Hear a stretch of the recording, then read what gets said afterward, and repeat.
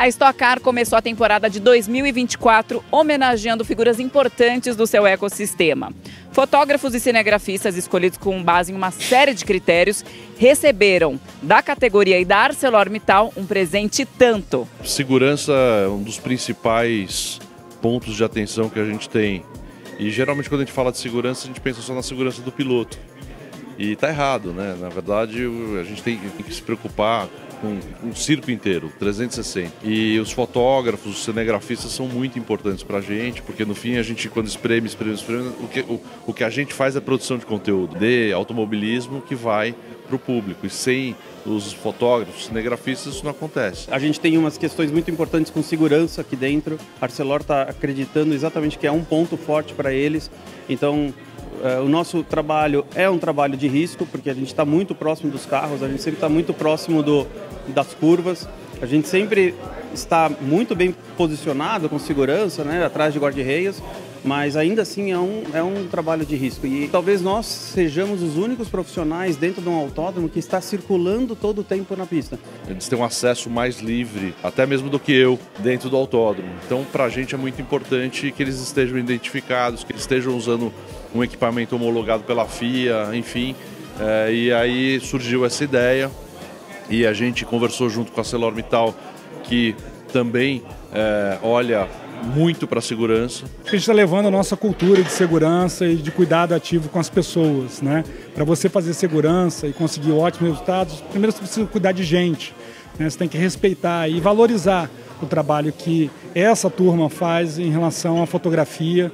Né? Eu acho que o automobilismo não estaria completo, né? a Stock Car não estaria completa se não fosse por eles. Eles traduzem, eles levam para o fã, eles levam para toda a sociedade, né?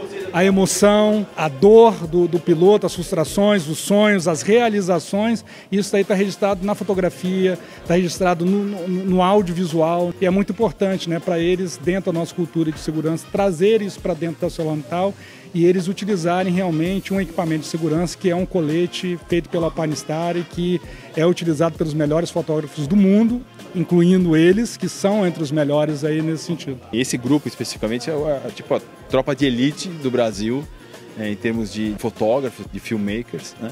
Ali a gente tem, inclusive, não sei se citaram, tem dois vencedores do prêmio de melhor foto do Dakar. Né? Um ganhou du duas vezes, e o outro ganhou uma vez. E tem um outro que não está aqui, mas também trabalha com a gente, que ganhou o último prêmio. Então, os últimos quatro prêmios do Dakar, os fotógrafos que estão na Stock Car ganharam. E eles cobrem provas no mundo inteiro, Le Mans, Indianápolis, o que você imaginar, as principais corridas a gente tem aqui fotógrafos que cobrem e são contratados, são reconhecidos no mundo inteiro. E a gente achou que, poxa, vamos também fazer alguma coisa para reconhecer o trabalho deles aqui. Até porque muitos estão aqui há mais de 20 anos, né? Então, assim, são parceiros assim, da vida? Eu comecei em 98 na Stock Car fazendo a temporada toda, então já são 26 anos. Está sendo gratificante eh, chegar nesse ponto agora, depois de tanto tempo.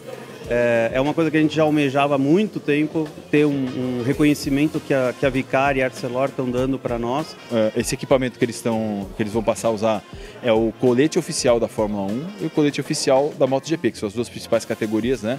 em cada, em cada tipo de veículo do mundo. Então, assim, a gente tem na Stock Car hoje profissionais reconhecidos com o melhor equipamento do mundo. É inédito no automobilismo brasileiro, né? Esse cuidado com as pessoas, com todos os profissionais que aqui trabalham, todos têm o seu, seu valor e a gente poder externar essa cultura de segurança e trazer isso, que já é, é segura, mas ainda aumentar isso daí junto com a Vicara, assim, é, para nós é a materialização do nosso propósito como empresa né, de aço inteligente para as pessoas, e eles são as pessoas e o planeta. Então a gente materializa os nossos valores aqui de segurança, sustentabilidade, qualidade e liderança. Mas no fundo também a gente não pode esquecer que isso aqui é uma família que a gente convive muito. Então a gente está, sem dúvida nenhuma, a gente precisa entregar é, proteção, carinho, amizade é, para a nossa vida ficar mais gostosa né, enquanto a gente trabalha. Então acho que isso também não deixa de ser, além de um gesto de segurança, um gesto de carinho.